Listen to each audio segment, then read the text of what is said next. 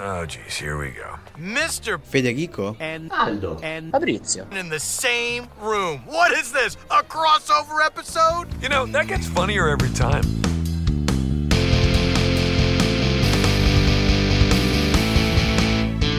Bentornati a spin-off, questa è la 1x10, attenzione, siamo passati in doppia cifra. E per l'occasione continuiamo con la seconda parte dei bellissimi di recent serie, tre serie discretamente nuove che vi consigliamo. Questa è la seconda parte, la scorsa era la 1x08, ovviamente abbiamo dovuto fare una puntata di pausa per via degli Oscar, altrimenti qualcuno ci schiaffeggiava. Qui sono sempre Federico da Berlino, eh, è tornato l'inverno nel frattempo, se ricordate c'era, c'era sole quando gioivo per eh, la sconfitta del cane e del suo potere. Ho il piacere quest'oggi di dare il benvenuto a una persona che abita nella provincia di una città che è gemellata con Shenzhen. Aldo, Vabbè, eh, ringrazio, non lo so. ringrazia cautamente. Sì. Sì, salve. Invece, dalla città gemellata con Shenzhen, Fabrizio. Ah, ecco il plot twist. Ciao a tutti. Scusa, ma per la proprietà transitiva sono gemellato con Brescia, no? Non è ufficiale, però sembra di sì.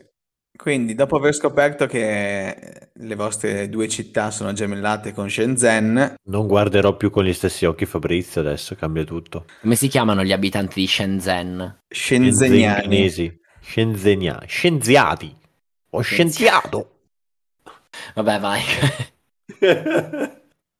Ok, dopo questa allegra digressione su Shenzhen e le varie città gemellate, Fabrizio, qual è la serie che vuoi consigliare ben sapendo che ne abbiamo già fatte tre che venivano da HBO? Vabbè, allora adesso direi di passare da Sky ad altra piattaforma, a una roba che hanno sicuramente tutti, che io so che la prossima serie che voglio consigliare è stata distribuita da Netflix. Partirei dicendo qualche nome, in modo tale che si possa già capire in che direzione stiamo andando. Già dicendo Ryan Murphy, io credo che ci sia già un'idea della tipologia di show che andremo a vedere. Un brivido freddo. Allora, io ho amato questa miniserie, nonostante lo stile di Murphy in eh, molte delle sue serie che, che seguo. Quando penso a Ryan Murphy, penso all'American Horror Story e penso ad uno stile molto, molto, molto estremo, esagerato, ma volutamente esagerato, che deve far vedere più di quello che in realtà secondo me dovrebbe effettivamente mostrare. C'è sempre un- una tendenza ad esagerare sue- nei suoi lavori, che solitamente si conclude con eh, un semplice risultato, un inizio fantastico dove vengono messe eh, in campo un sacco di cose interessanti, strane, che uno dice Madonna mia cosa succederà qui e sistematicamente, proprio sistematicamente ogni singola stagione finisce per rovinare tutto negli ultimi due, tre episodi perché non è capace a gestire tutte le cose che effettivamente butta nel, nel calderone. In questo caso però, nonostante lo stile sia il suo, si vede, la serie viene elevata da una storia che comunque è interessante nella sua, tra virgolette, banalità, poi spiego perché banalità, e da il suo protagonista, Eva McGregor, che interpreta qui lo stilista Roy Alston, appunto la serie è Alston. L'avevo detto il nome della serie, oppure ero partito così e non avevo detto la serie. Sai, sai che mi sa di no, non l'ho ancora sentita. Beh, dai, non è, non è male. Dopo circa due minutini di presentazione, poi dico il, il titolo, così almeno uno, sai, è, è sorpreso. no? Quindi continuiamo. Stavamo- continuiamo da dove avevamo, avevamo interrotto. Roy Alston è uno stilista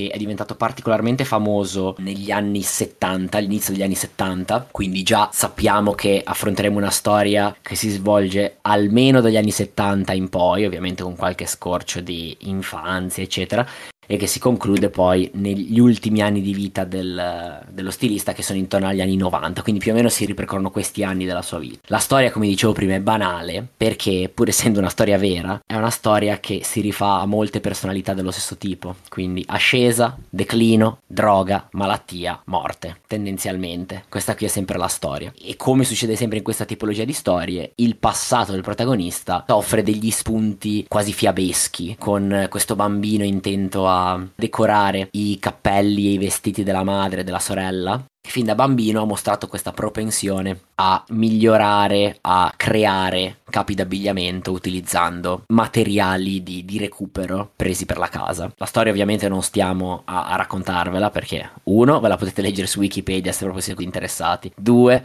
io solitamente procedo all'inverso, se una storia non la conosco, prima mi guardo la serie o il film e poi mi vado a vedere tutti i vari particolari per apprezzare la, la pellicola. Anche perché sennò è spoiler, no? Eh dai, esatto, voglio dire, è uno spoiler. Oramai eh, viene come, come, diciamo prima con Aldo, anche uno spoiler di una serie finita 15 anni fa potrebbe essere pericoloso, se, se detto così a, a, cuor leggero questo, quindi non, non, diremo molto della storia, però uno, l'interpretazione di Evan McGregor è eh, un'interpretazione magnifica, ricorda secondo me la sua interpretazione in I Love You Philip Morris, Colpo di fulmine, il mago della truffa.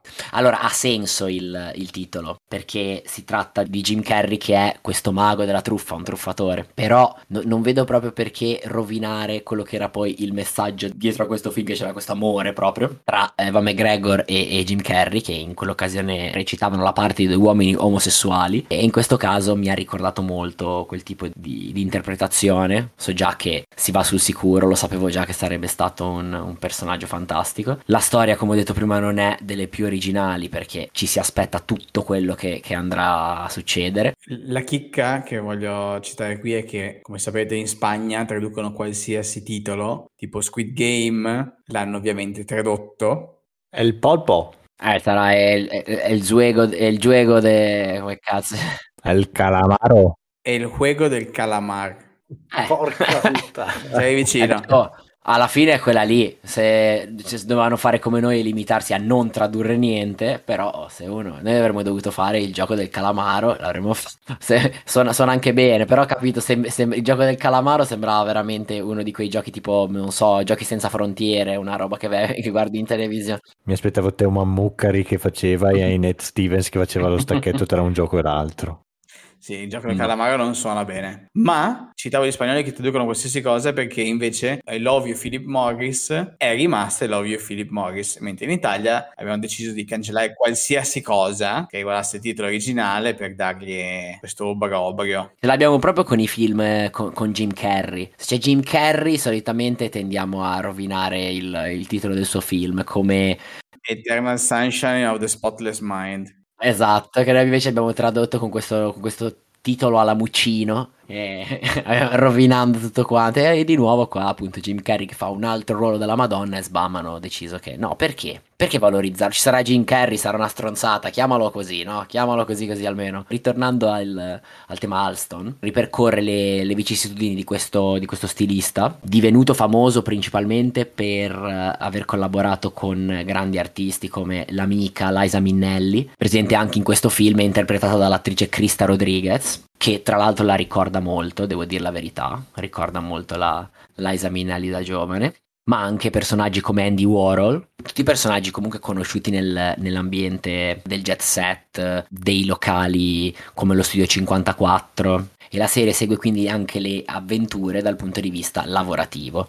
E come spesso succede, quando il successo arriva inaspettatamente tutto d'un botto, eh, è facile perdere un attimino la, la strada e, e, infatti la parabola di Alston è decisamente discendente, ma a parte eventuali spoiler su come si conclude tutto quanto, una delle cose che mi ha incuriosito molto è stata la scelta, poi diciamo criticata in quel momento, di Alston di vendere i suoi modelli a una catena di negozi d'abbigliamento per famiglie diciamo economiche, sarebbe JC Penny, che sono queste enormi catene di vestiti eh, all'interno della quale appunto svettava questa collezione Alston, che era una collezione di classe ma affrontabile a livello economico, quindi anche da persone non necessariamente abbienti, che è stata poi l'inizio di, un, di una decisione che ormai viene, viene compiuta da un sacco di stilisti, di affidarsi anche alle catene di rivenditori di questo genere per poter raggiungere un pubblico maggiore, offrendo la, la merce a un prezzo ridotto. Sono solo 5 episodi comunque, o sbaglio?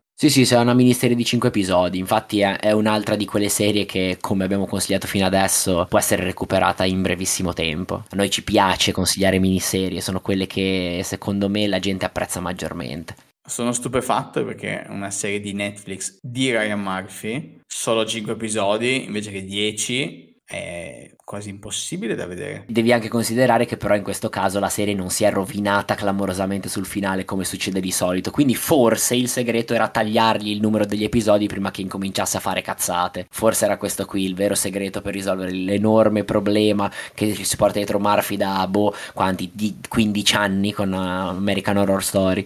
Forse. Eh, se non sono 15 sono 12, eh, non è che è una cosa del genere. Accantonato Halston, che comunque consigliamo, Alston e la sua dipendenza dalla cocaina. Mi è giunta voce che invece, sempre parlando di droga, Aldo dalla periferia di Brescia, siete esperti, infatti la serie che vuoi consigliare è collegata. Esatto, è Dopsic, serie Hulu, otto puntate andate in onda tra ottobre e dicembre dell'anno scorso. Se ti interessa, sempre a proposito dei titoli che vengono storpiati, invece che lasciarla solo col nome Dopsic, l'hanno chiamata Dopsic Dichiarazione di Dipendenza dipendenza. Ho i brividi.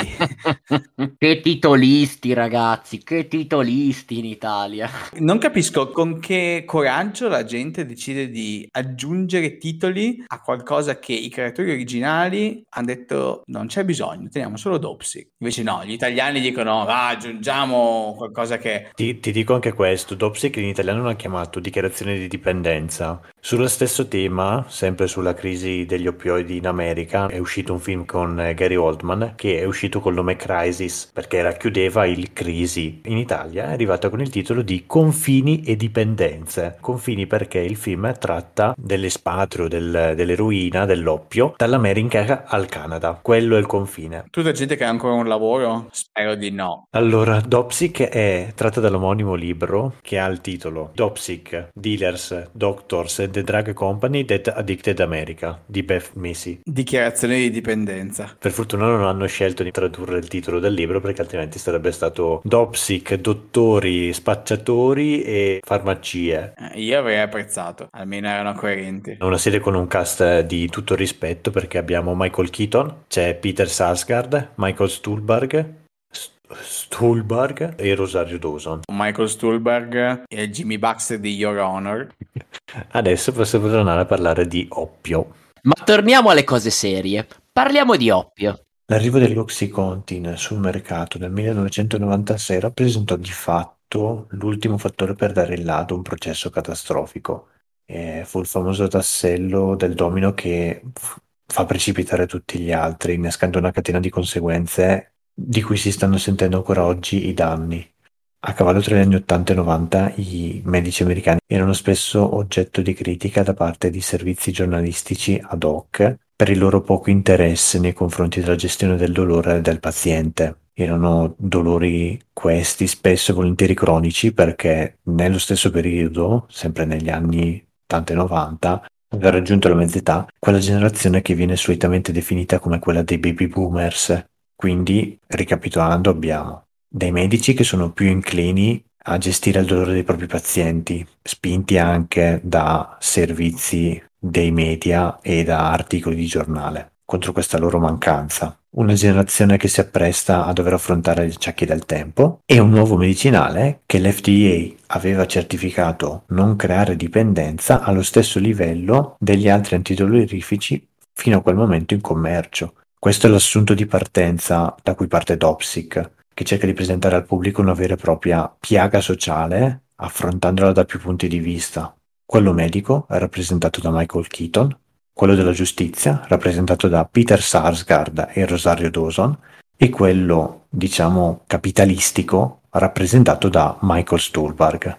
Ok, Michael Keaton aveva fatto Bergman, dove non stava a postissimo con, col cervello. Qui cosa fa? È dottore? È drogato? È vittima? È carnefice? Allora, in Dopsic Michael Keaton interpreta il dottor Samuel Phoenix, parte come dottore, quindi che aiuta la, popola- aiuta la piccola cittadina in cui si trova. Il problema è che a un certo punto lui stesso comincia a soffrire di questi dolori cronici che lui solitamente cercava di combattere nei propri pazienti dando l'Oxycontin. La serie segue il suo progressivo crollo verso la totale dipendenza dal medicinale, esattamente come i suoi stessi pazienti. La serie quindi è, totalmente basata su questo, medici che scoprono questo medicinale, quindi pensando di aiutare i propri pazienti, lo somministrano nella totale inconsapevolezza del danno che stanno effettivamente facendo, persone che lo assumono, c'è anche questo aspetto, quindi dalla vita normale che hanno cominciano a diventare dei veri e propri tossicodipendenti. E l'altro lato ancora è Michael Stuhlbarg per esempio che è Richard Sackler che è il proprietario di Purdue Pharma. Vede schizzare le vendite a livelli mai visti danneggiando però l'intera popolazione. Purdue Pharma si è arricchita pesantemente nel corso degli anni sulle spalle di tutte queste persone a danno di queste persone. L'impoverimento e il degrado sociale che l'Oxycontin porta all'interno del tessuto sociale americano è incredibile ed è portato in scena molto bene.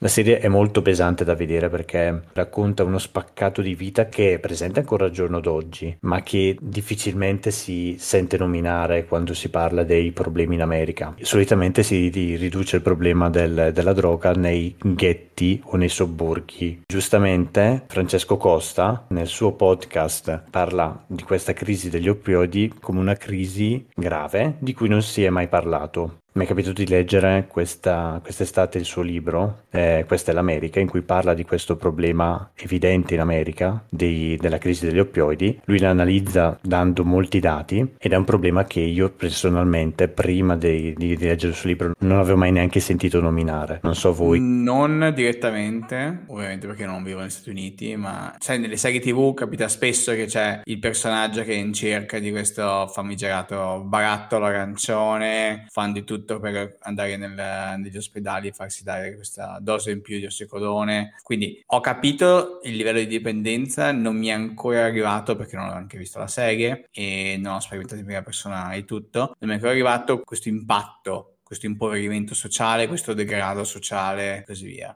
Probabilmente avere uno spaccato un po' più preciso di, o documentaristico di questa cosa bisognerebbe guardare anche The Crime of the Century, che è sempre un documentario HBO sulla sempre questa questione.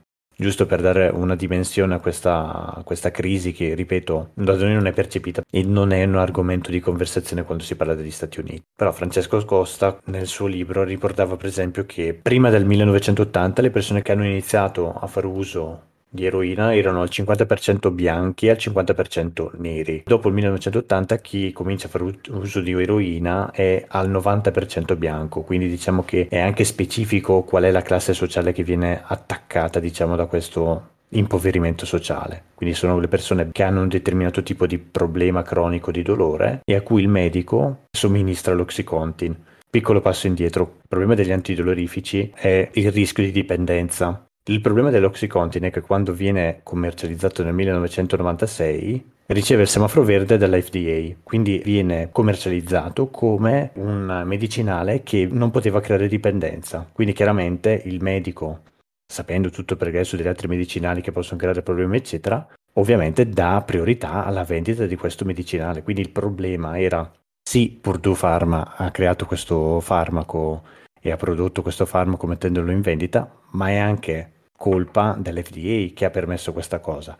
E da qui c'è tutta la storia del perché FDA non l'ha bloccato. Da una parte cattivi, dall'altra parte ci sono i buoni e in mezzo ovviamente c'è il povero paziente di turno che si ritrova in una storia più grande di lui da cui non è in grado di uscire. Dulcis in fondo, visto che trattiamo solo serie che hanno un titolo brevissimo, quindi dopo Halston e Dopsic, la mia è Evil, per gli amici italiani. Evil.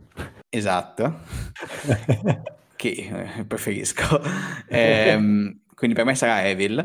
È una serie dei coniugi King, Robert e Michelle, gli stessi di The Good Wife, gli stessi di The Good Fight, gli stessi anche della dimenticata ma bellissima Brain Dead, che consiglio. Confermo, Can- di quelle cancellazioni oscene, ingiustissime proprio ingiustissime. Quindi Coniugi King che qui sfornano una serie tv dalla vita molto travagliata perché siamo alla seconda stagione rinnovata per una terza, ma la prima stagione è andata in onda con i suoi 13 episodi su CBS, ascolti tutto sommato sfortunatamente non degni di un rinnovo. Fatalità, allo stesso tempo Paramount Plus, che è la stessa casa di Yellowstone uh, di 1883, aveva bisogno di altre serie, quindi ha preso Evil e l'ha rinnovato per una seconda e poi per una terza stagione. Tanto le fanno fare tutte a Taylor Sheridan, non c'è problema, anche se perdono uno sceneggiatore, hanno Taylor Sheridan e lo mettono qua per scrivere qualcosa. Sì, esatto.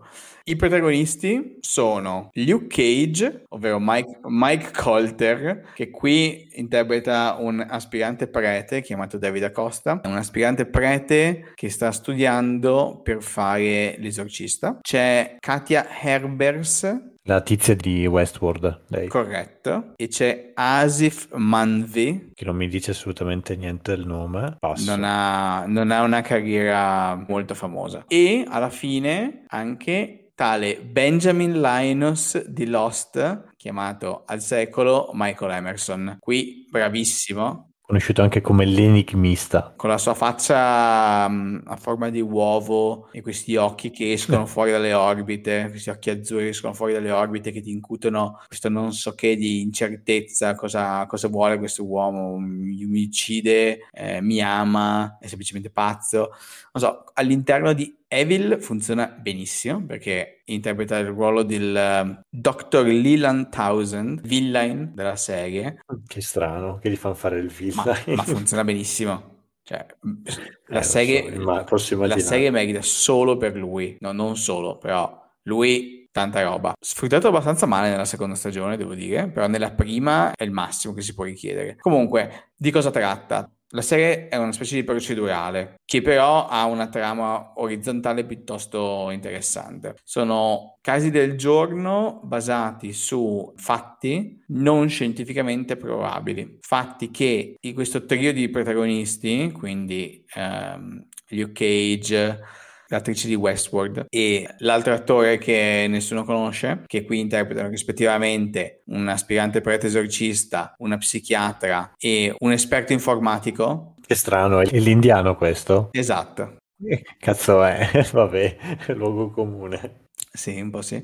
E vengono soldati dalla Chiesa Cattolica per confutare o confermare che questi casi al limite tra scienza e misticismo religioso siano corretti o siano veri. In tutto ciò c'è una trama orizzontale che sorge lentamente nel corso degli episodi, ma pian piano, anche nella seconda stagione, diventa preponderante. Molto bello. La cosa che piace di più in assoluto è questo dualismo tra fede e scienza, che ancora qui citiamo Lost, mi ricorda molto questo, um, questa scelta che viene data allo spettatore senza spiegarlo. Ciascuno può vedere la puntata, vedere il caso del giorno e viene sballottato a sinistra e a destra. Da un momento pensi che no, questa cosa è sicuramente inspiegabile, in un altro momento pensi ok, questo è spiegabile scientificamente e poi ogni puntata viene praticamente lasciato allo spettatore la possibilità di scegliere se credere o non credere a questi fatti. Ah, quindi è meno simile a Fringe, cioè nel senso non, non ci sono casi simili Fringe. No, non ci sono casi simili a Fringe, però diciamo che la- il formato è simile, perché Fringe Ok. poi si ricollegava con un'altra realtà, qui invece si ricollega a una sorta di, senza spoilerare troppo, eh, una sorta di ascesa dell'anticristo. Comunque il fatto che, che lasciano libera scelta al- allo spettatore di decidere se credere, cioè se essere un uomo di fede o, no- o essere un uomo di, di scienza, mi ricorda molto vecchie stagioni di X-Files, quando non c'era la questione di fede o scienza, ma c'era molto più il inspiegabile, e quindi c'era Fox Mulder, oppure c'era Dana Skelly che era la donna di scienza, la dottoressa che doveva assolutamente trovare una spiegazione a tutto quello che accadeva. Tra l'altro, quante volte eh, succede qualcosa a, a Skelly inspiegabilmente lei comincia a rifiutare come se non fosse realmente accaduto, come se fosse una, una coincidenza, no? Ah, ma no, perché potrebbe essere che. Ma che cazzo, non hai visto che c'era un Cristo di uomo lupo attaccato alla mia schiena? No, no, perché potrebbe essere, sai che. Quello dopo un po' onesto mi ha, mi ha un pochettino stufato a lungo andare questa contrapposizione proprio di fronte a- all'evidenza. Ho capito che è strano, ma stai seguendo gli X-Files, cosa pensavi di trovare? Io questo che mi sono sempre chiesto. E ogni volta l'altro che dice no, ma hai visto che questa cosa... No, che non lo puoi provare. Mi dispiace Mulder, va bene, ok? Capisco il fatto che a lungo andare possa dar fastidio, quello sicuramente, però lentamente anche lei comincia a crederci meno, dopo è lei la prima che entra in contatto con degli alieni, eccetera, eccetera, quindi la cosa va scemando.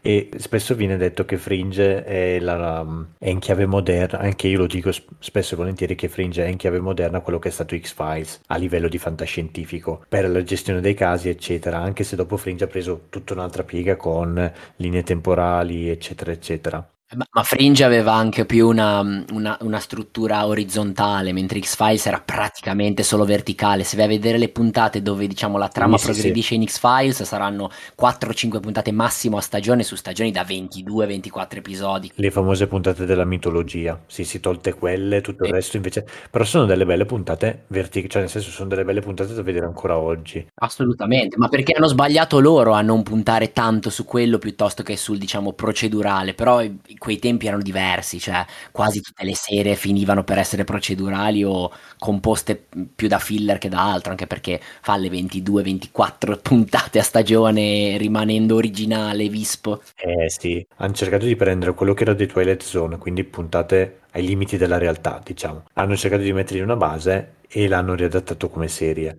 Se tu mi dici che Evil è così, allora potrebbe essere strutturato simile, ma più, c'è più similitudini tra X-Files e Evil che tra X-Files e Fringe. Lo collego di più a X-Files un po'. Mi piace, mi piace questa cosa. Interessante. Consigliatissimo.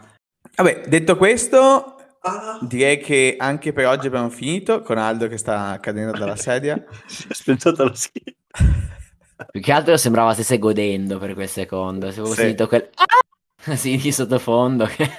e che dire, facciamo uno spoiler per la prossima puntata che per la prima volta non sarà su una serie tv né su un film, ma su un anime. Ah. Non diciamo però su quale anime.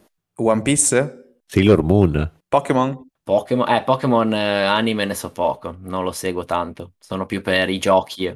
Lo diciamo in giapponese? Faccio l'accento svedese. Fantozzi, ma è lei? Shingeki no Kojin. Ci sentiamo per la 1 per 11. Un saluto da Berlino. Da Edimburgo. E da Brescia. Provincia. Provincia di Brescia. Provincia della città che è gemellata con Shenzhen. Avete in comune la nebbia e l'inquinamento. Congratulazioni. Penso soltanto all'inquinamento. Però leggevo che è la Silicon Valley della Cina, Shenzhen, e più o meno con Brescia siamo lì, eh? siamo la Silicon Valley della Lombardia noi. Continua a ripetertelo, vai. Però ecco, se tu Fede invece mi dici che Evil, Evil, Evil, Evil. in inglese, oh. hai, hai solo aggiunto un Levil in italiano. Evil. You know, that gets funnier every time. You're being sarcastic, but I think it does actually get funnier every time.